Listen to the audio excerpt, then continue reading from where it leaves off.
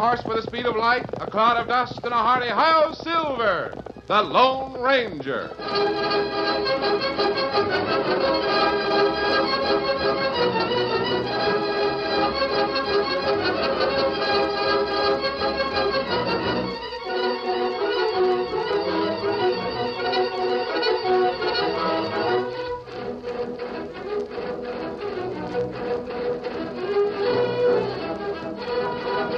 Thank you.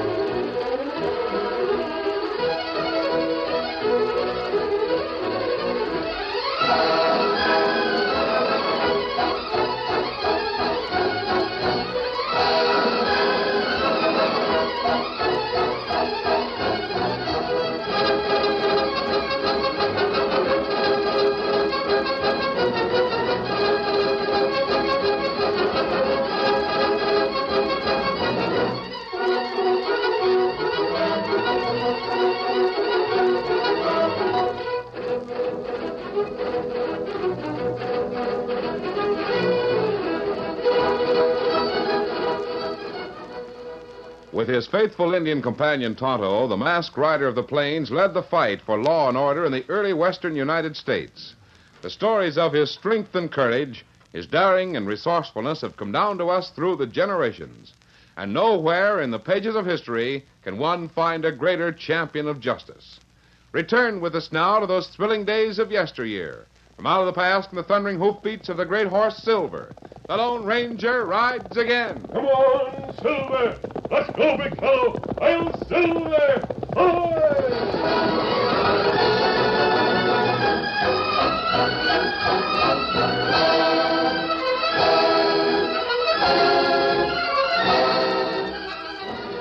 Pop Martin, the blind bootmaker of Bluefield, was busily engaged on a pair of fine leather boots when Doc Winder, the town's physician, and Marshal Storm dropped in. Ah, come in, Doc. Hello, Marshal. Howdy, Pop. How are Uh, pull up a chair and make yourself to home. Pop, you amaze me sometimes. Me too. Uh, how you mean I amaze you? well, we walk in here and don't say a word, and right off you recognize both of us. I just don't see how you do it. yeah, I knowed you the minute I heard your footsteps. You see, Doc, I always say I see through my ears. See through your ears. Well, that's a mighty good way to put it, I reckon. Your eyes is blind, so you depend upon your ears to make up for being blind. it still amazes me. Now, Marshal, I've heard Pop Martin call the name of somebody when they walk in here, and he ain't even seen him in years. Never forget a footstep once you hear it. Hmm, say, that's a mighty fine pair of boots you're working on. Who they for? Yeah, they look something like the pair you just finished for your boy, Dusty. Must have paid a fancy price for them boots. Yes, sir, they're fine boots, sure enough. You'd really like to know who these boots is being made for, would you? Well, nobody around town could afford them. That's what I was thinking. Can you keep a secret? I reckon I can. How about you, Marshal Storm? In my business, you got to learn to keep a secret. Well, I'll tell you. All right. But don't say nothing about it. You see, he might be dropping in here most any time to get him. I don't want nobody around when he does. Who are you talking about? These here boots I'm working on, they're for the Lone Ranger. What's Lone that? Ranger? Yes, sirree, the Lone Ranger. Now, don't you tell anybody. Why, Pop, me and Doc never heard you say anything about knowing him. Yes, sir, he stood right here, right in my own little shop, and got himself measured up for these here boots. Well, uh, how do you know it was a Lone Ranger? How I know? because when you was standing here, my boy Dusty was standing right here beside him. That's how I know. Dusty. You mean he knows the Lone Ranger? Fact of the matter is, Dusty's riding with the Lone Ranger, and that Injun the masked man has along with him all the time. Well, I'll be. Pop, if you hadn't told me yourself, I wouldn't believe it. But I know Dusty. He's a good boy. He wouldn't lie. If Dusty told you his friend was a Lone Ranger, then it's the Lone Ranger, all right.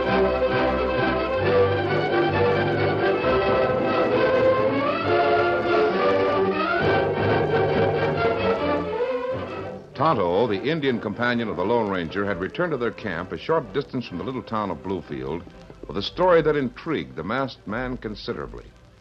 After me buy grub, Kemo Sabe, me go by boot shop, run by blind bootmaker. A blind bootmaker? Ah. Me see pair of boots. Me want buy 'em, make gift to Dan. But bootmaker say him not sell 'em. I know Dan would appreciate a pair of boots from you, Tonto. Them very fine boots, and me know Dan like 'em. But bootmaker him say no. Did he uh, give any reason? Ah. Him say him make boots for son. Keep 'em till son comes back. His son must be about Dan's age, then, huh? No. Him say boy, 19 year old. Not so big. But Kemo Sabe, that not all him say. No?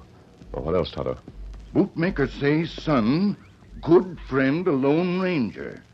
Say Son ride with Lone Ranger all time. Oh, Tonto, the old fellow's probably spinning a yarn just to pass the time away. Not being able to see and working mostly with his hands, he has lots of time to think. Think up tales to entertain his customers. no, Kemo Sabe. Him have another pair of boots and not sell 'em. Yes? What did he tell you about the other pair, Tonto? They belong to the Lone Ranger himself? Uh-huh. What him say. What? That what bootmaker say. Boots belong to Lone Ranger. How you know him say that, Kemo Sabe? I I didn't know it. And I can't understand it. What else did he tell you about the boots? And when him say that, me leave. Ride fast, tell you. I can't help but think the old fellow just spinning a yarn. But I'm going to find out why he's spinning it. Now, what you do, Kemo Sabe? Tonight we'll ride back to Bluefield. The bootmaker is working in his shop. I uh, want to have a talk with him.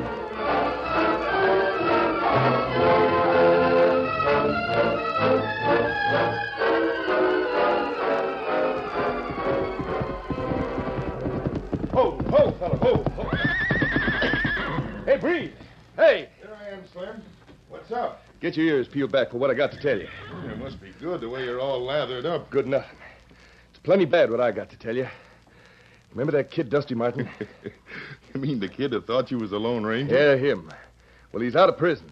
Did he bust out? No, he's pardoned. Pardoned. Well, he got five years. Hell of mine over in Centerville prison got word out to me. How do you know who Dusty was?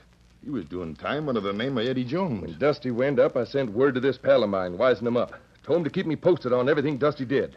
Well, Slim, what you figuring on doing about it? Breed, we gotta get him, and we gotta get him good before he talks. From what my pal says, Dusty's aiming to talk to somebody. What makes you think so? He did his time under the name of Jones. Nobody in this town knows about where he's been. You think he keep his mouth shut? My pal says that all the time Dusty was in prison, he wrote letters to his old man. You mean the blind bootmaker at Bluefield? Yeah. yeah, he thought you was a Lone Ranger, too. Recollect how he could tell it was you when you'd walk in his shop just by hearing your footsteps? Yeah, yeah, I recollect that. But as I was saying, the kid wrote the old man that he's still riding with a Lone Ranger, and that they's chasing me and you for that job we pulled. You mean the one where Dusty held the horses while me and you robbed the bank? Yeah, that's the one when the law nabbed him. Why, that's a job he got sent up for. Yeah. Got five years. Yeah, that's what the judge gave him. Somebody got him out in six months. Hmm, who do you think? I don't know for sure. But I got an idea. Who? A Lone Ranger. What? That hombre's got a way of butting into things, even getting folks out of jail. Now, you listen to me, 'cause we gotta act fast. Yeah, I'm listening.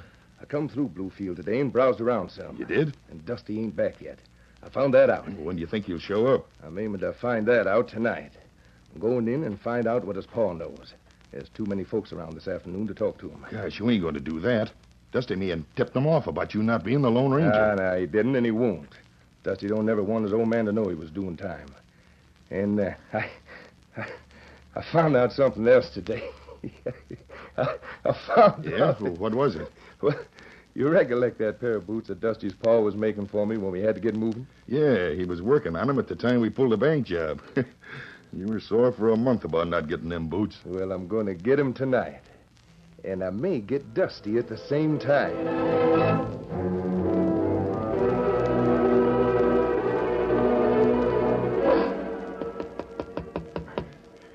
Well, sir, I knew you the minute I heard your footfalls on the boardwalk outside the shop. By the third step you took, the words popped right out of my mouth. Says I, that's him. Sure is remarkable how you blind folks see through your ears, Pop. Yep, it sure is. And I'm mighty glad to be here talking to you again. just like before me and Dusty started trailing them bandits. Is uh, Dusty with you? Uh, no, he ain't. Fact is, I figured he might be here ahead of me. Oh, not yet. He hasn't. Had a letter last week. Said he'd be dropping in most any day. Of course, I can't see to read his letters myself. Oh, yeah. yeah that's right. You can't. Uh, who reads them for you, Pop? Oh, sometimes Doc Winder, sometimes Marshal Storm. Mostly Marshal Storm. Marshal, huh? Yeah. You see, he's known Dusty since Dusty was knee high to a frog. Reckon that's why Dusty always aimed to be a lawman. He thought so much of Marshal Storm. Uh-huh. How come Dusty didn't come in with you? Well, me and him figured we better split up before we got here. Me being the Lone Ranger, I got to be careful. I wouldn't want to have Dusty running no risk by being with me, in case somebody might be laying for me. Yes, that's smart and mighty considerate. There's plenty of people who'd like nothing better than taking a pot shot at the Lone Ranger. Hey, there's a pretty pair of boots setting up there on that rack, Pop. You think so? Yes, sir. Them's real handsome. Looks like they'd be just about my size. Yeah, put 'em on and see. Might as well. Sir. Them's mighty fine boots. How to get these old boots off my feet?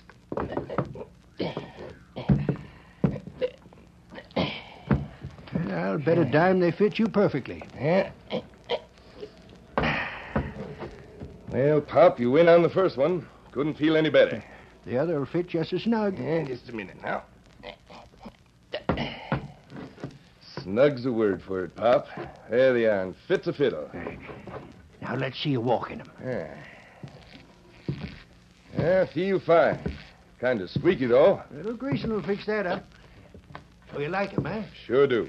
Well, they're yours. Been keeping 'em for you. Ah, you don't say. Well, well, now that's mighty nice of you. Well, don't you recollect? I fitted you and Dusty for new boots just before you had to go chasing Slim Landvin and that fella he runs with. Well, now I plumb forgot about that. I sure did. Uh, that must be Dusty's pair sitting up there. That's right. Them two pair of boots been setting up there together, just waiting till you and Dusty come back. Could have sold 'em 50 times, I reckon. I bet you could at that. Oh, somebody coming in. Yeah. Can't make out who 'tis. I better get out of sight. You know, I can't take any chances count of this mask I got on. That door over there goes into a woodshed. Yeah, I'll hide in there.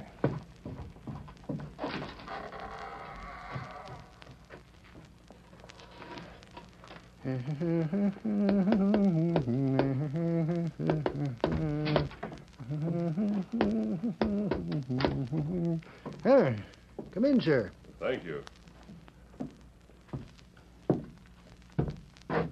You work late, don't you? Well, it ain't work when you like what you're doing, and I do. What can I do for you? I want to look at a pair of boots. And what size? I'd uh, like to look at those boots on the rack there next to you. No, they ain't for sale. No? No, they ain't. Anyway, they wouldn't fit you. You're too big. That's a pretty good guess. There ain't much guesswork to it. I knowed when you walked in you're a heavy fella. Go by my hearing. I believe you had another pair of boots. Uh, What say? You had another pair of boots, I believe, which were not for sale. Yeah, I did have. They were here late this afternoon. Who are you, mister? I didn't recognize your footsteps when you came in. I could be a friend of uh, Dusty. What? I'll pick it up for you. Oh, it's just my awl. Oh! The door is bolted. I'll have to break it down.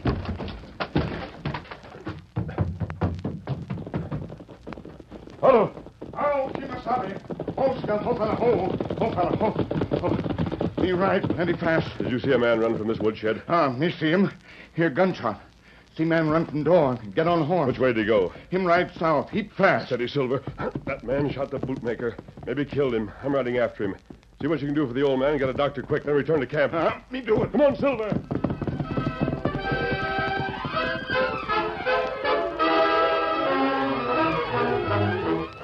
The curtain falls on the first act of our Lone Ranger story.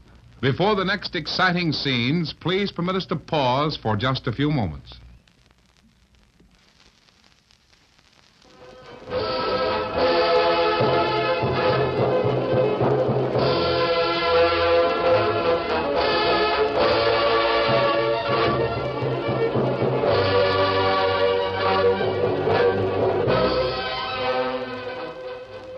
Now to continue our story. While talking to the blind bootmaker in the latter's shop, the Lone Ranger is fired upon by a hidden gunman. The bullet intended for the masked man struck the bootmaker instead. Instructing Tonto to get a doctor for the bootmaker and then report back to camp, the Lone Ranger raced after the mysterious gunman. Come on, Silver. Faster, boy, faster. Slowly, the great white stallion overcame the lead that the gunman's horse gained in the first getaway. We're gaining, big fella. Come on, Silver. Soon the masked man could make out, even in the darkness, the form of a horse and rider racing with reckless speed toward a brightly burning campfire. Almost got him, Silver.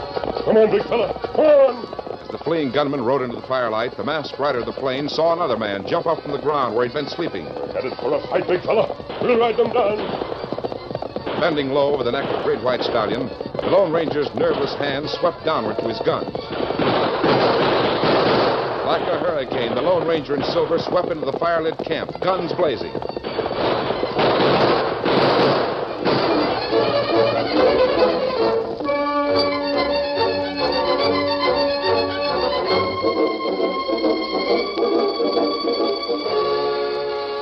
Meanwhile, back in Bluefield, Dusty Martin walked into the marshal's office to learn about the shooting of his father. But Marshal Storm, don't you have any idea who shot Dad? Oh, not an idea in the world. Wasn't nobody around the place that time of night. Your paw ain't revived none, so he can't say who done it. You said something about an Indian getting Doc Winder over to the shop. Yeah, that's right. Some Indian did ride over and get Doc out of bed.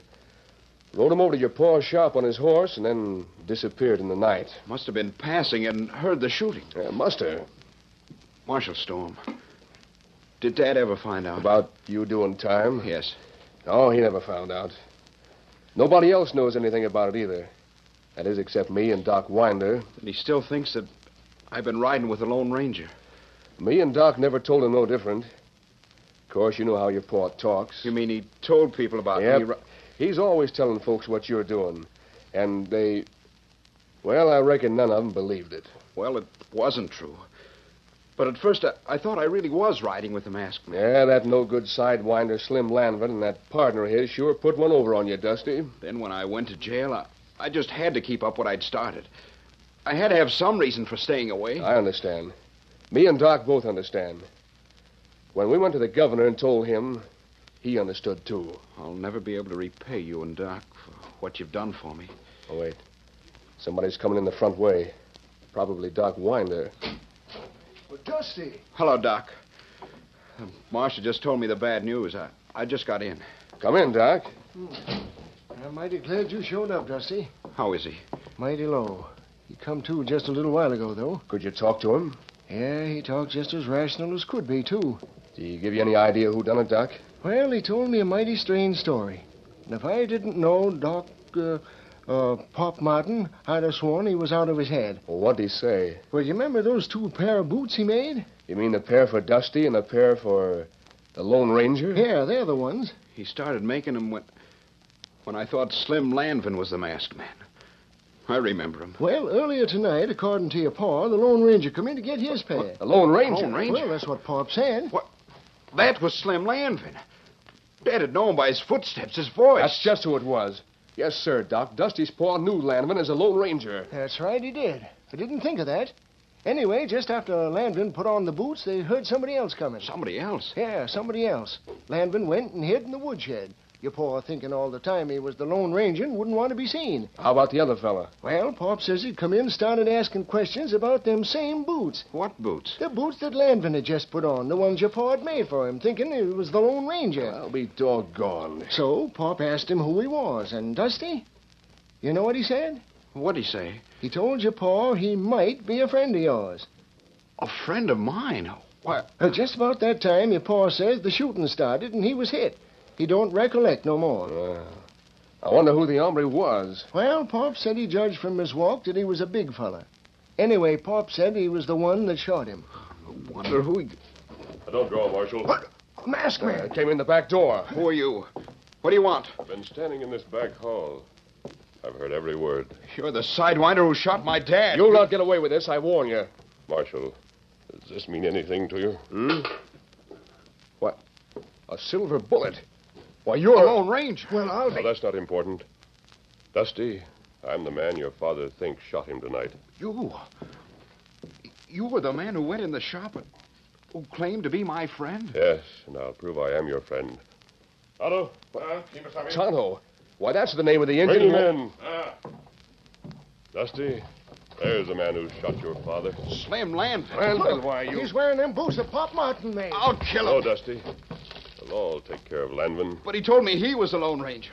It was because of him I was sent to prison. Lanvin shot my dad. Yes, I know.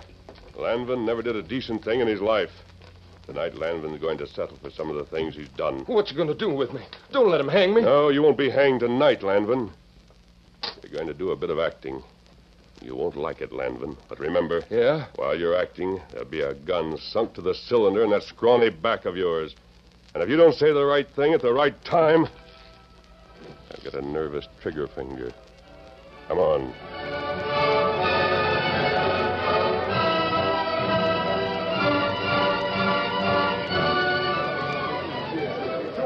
Wonder what's going on. I don't know. Me and a couple of other fellows is in there sitting up with Pop when Doc and Dusty come in and run the whole lot of us out. About the same time, the marshal and three other fellows come up and slipped into the woodshed. They did? Who was they? I don't know. One was an Injun. Another was a big fellow with a mask on. With a mask on. Yeah, wearing a mask. And the masked man had a big gun stuck smack in the back of a third fella. And was that third fella scared? He must have been the hombre that shot Pop. It'll probably take a minute to let Pop identify him. Well, if they are, they better hurry. Poor Pop was sinking when Doc come in and run us out.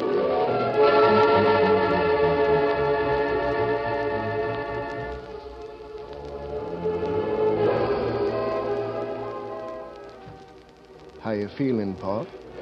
I'm sinking, Doc. I know I'm sinking. There, there now. I wouldn't mind going if only Dusty'd come. You really want to see Dusty, don't you? I want to see Dusty more than anything. Even more than living. Pop, listen. Huh? Ever hear them footsteps before? Dusty. It's Dusty. Dad. Dad. Oh, Dusty, my boy. Dad. Dusty. Oh, Doc, Yes, Pop. I'm I'm ready to go now. No, you ain't ready yet, Pop. Dusty brought a friend. A good friend. A friend? Yeah. A good friend. Whose steps you make them out to be, Pop? Dad.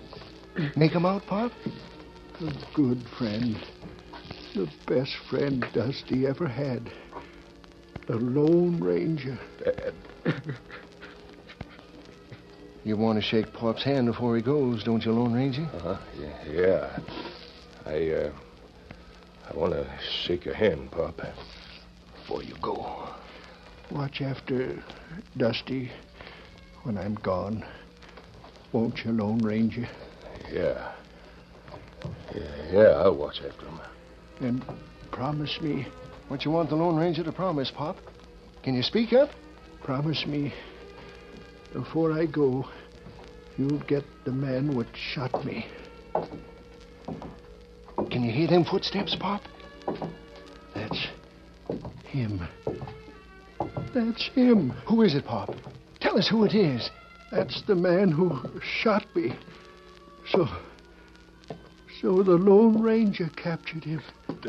Dad. Yes, Pop. The Lone Ranger got the dirty critter who gunned you.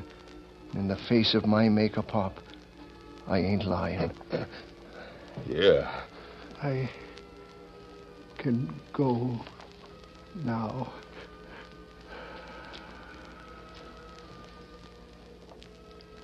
He's gone. Dad. Get Lanvin out of here, Marshal. Come on, Slim. You've done your act. But your next one's going to be a lot tougher. Come on, you. Dusty, Why did you do it? He died thinking you're the man who shot him. Why did you do it? Dusty, it's not important that your dad should have known who actually shot him. See, Dusty, your dad believed in an ideal. He hated Lanvin the killer just as decent people hate all killers. But to his unseeing eyes, Slim Lanvin was another man. A man you yourself had created. I know. Oh, wish I could forget. So you see, Dusty, Your dad, first and last, believed in you. But I could have explained to him. It wasn't right for you to take the blame. No, it was too late, Dusty. But It's a sacrifice I, I'll never forget. Sacrifice? Dusty, the man Lanvin shot at tonight was me, not your father. What I did just now, well, it was the least I could do to repay the sacrifice he made for me.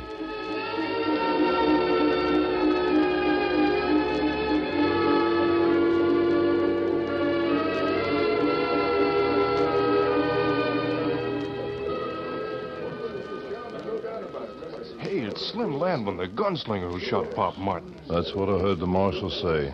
And the marshal said Slim's partner was being brung in by the deputies. Both of them was nabbed by that big masked hombre who just walked out of the shop with Dusty Martin. Yes, sir, he. And he had his arm around Dusty. Sort of consoling him like. I wonder who that masked fella is.